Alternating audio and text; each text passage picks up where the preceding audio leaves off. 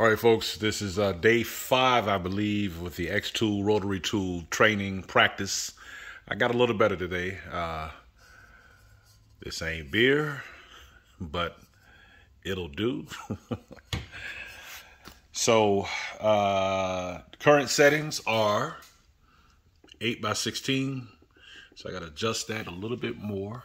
And that's what it looks like. So I need to make something I need to make it to where the words come in a little bit like this. So I'll work on that. I'm gonna leave now and I'll be back later. I'll, I'll try some more stuff um, tomorrow. I gotta go. I don't even drink beer, but I just figured this would be kind of cool. This ain't beer, but it'll do. Now I gotta figure out how to make that smaller. Thanks for watching.